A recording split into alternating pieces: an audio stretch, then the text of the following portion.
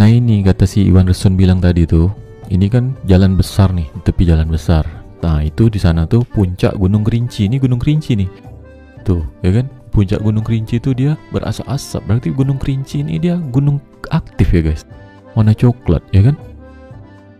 Wih, sadis juga eh. Sedekat ini wak lihat Gunung Kerincinya. Berasa asap guys. Nah ini di lereng-lereng Gunung Kerincinya banyak perkebunan. Perkebunan teh, perkebunan kopi juga. Kata si Iwan Dusun, oh cantik eh di bawah-bawah lereng Gunung Kerinci ni. Seronok lihatnya. Inilah suasana Gunung Kerinci ketika masih tahun 2022. Jadi walaupun kita belum pernah sampai di Gunung Kerinci guys Atau perkebunan teh kayu aro Gunung Kerinci ni lah Setidaknya dengan video kiriman Iwan Resun ini kita dapatlah tengok-tengok suasana perkebunan teh di Gunung Kerinci.